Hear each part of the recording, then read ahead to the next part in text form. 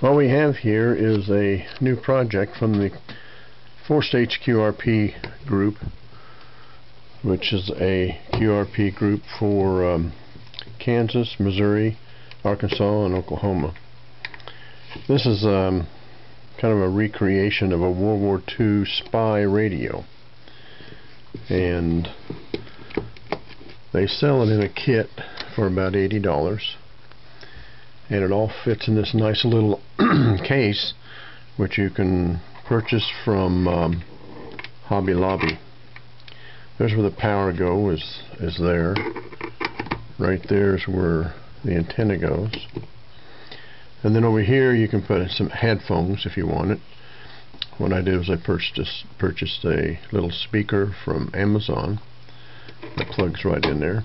It has a rechargeable battery recharges on a USB. You have a tuning knob, volume, regeneration, because it's a regenerative receiver, attenuation, and a built-in key. Off on, or off, receive, and transmit. Crystals go here.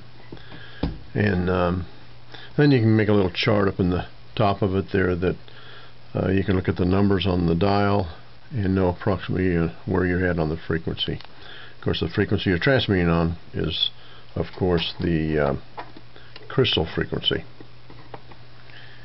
Let's turn her on.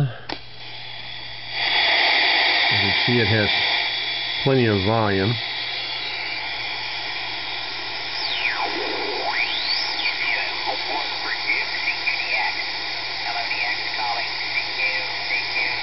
There's the sideband on the upper end of the CW Let's go down here where the CW is.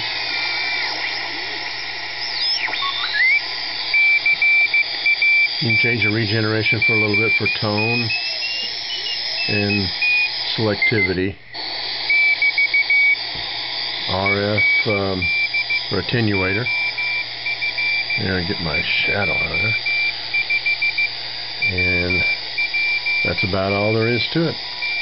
Cool little kit um, available through the Four States QRP group.